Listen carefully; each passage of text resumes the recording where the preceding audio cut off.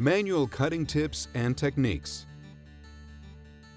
Follow standard safety procedures. Use proper eye and hand protection as well as protective clothing. Make sure that the torch is properly assembled with new parts. Older worn parts left in the torch from a previous project may be at the end of their usefulness.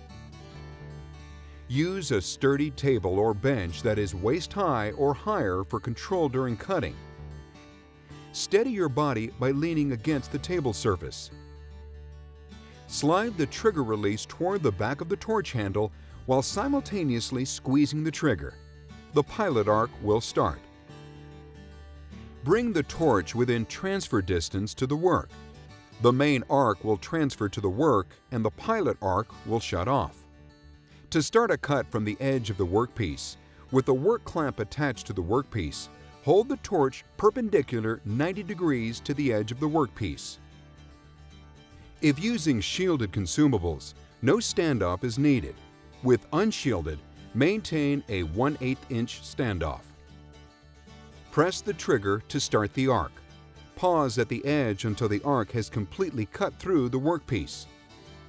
To pierce the metal, angle the torch slightly to direct blowback particles away from the torch tip rather than directly back into it until the pierce is complete. In a portion of unwanted metal, start the pierce just off the cutting line and then continue cutting. After the pierce is complete, hold the torch perpendicular to the workpiece. Exposed tip drag cutting offers the cleanest cut with the least amount of heat effect zone and the narrowest kerf. Use a drag cutting technique, tip on work, for cutting 1 4 inch material at 60 amps or less with a non-metallic straight edge. For standoff cutting, hold the torch 1 8 to 3 8 inches from the workpiece to begin the cut. For consistent standoff height, use a standoff guide by positioning the legs of the guide against the workpiece. A drag shield cup can be used with a non-conductive straight edge for some heavier applications. Use a 5 to 10 degree leading torch angle. This will minimize dross. While cutting, Make sure sparks exit from the bottom of the workpiece. Maintain a smooth travel speed with the plasma arc trail following at a 5 to 10 degree angle. Always pull the torch towards you rather than pushing it away, using your shoulder for movement rather than your elbow. Torch standoff should be 1 8 to 3 8 inches above the cutting surface depending on the size of the system. Cutting expanded metal is easy with the autopilot restart function. Victor Technologies offers a variety of cutting accessories, such as standoff and torch cutting guides that are available individually or as a part of a kit to make cutting easier. In the absence of these accessories, use a non-conductive substance to cut straight lines and shapes. To cut a quick straight line, use a non-metallic straight edge or roller guide for best results. Bevel cuts are also relatively simple, requiring an elevated straight edge to support the torch. More precise angles can be achieved using the adjustable angle on the roller guide. Use the circle cutting guide kit to cut a large circular radius. This technique is usually mastered after only a few tries. Practice the various cutting methods so that you are comfortable and adept at performing them. The travel speed, torch angle, standoff distance, and thickness of the material will all play a role in your cuts. Gouging performance depends on parameters such as torch travel speed, current level, lead angle, and standoff.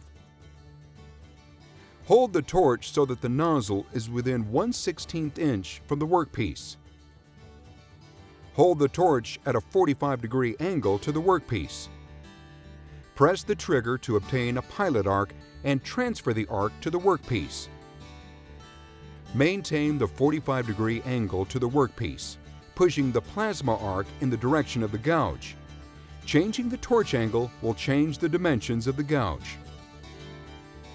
Note, keep a small distance between the tip and metal so as not to reduce consumables life or damage the torch. If the torch sputters but doesn't produce an arc, the consumables may be too tight. Loosen the consumables about one-eighth of a turn. If the torch does not cut through the workpiece, slow down. Cutting speed may be too fast. The torch may be tilted too much. Try tilting your torch slightly higher.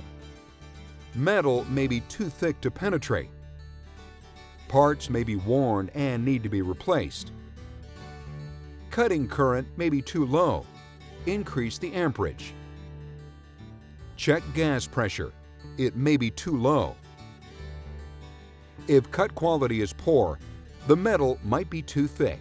Use a unit with more output. Or the wrong consumables are being used. Change consumables to match the application.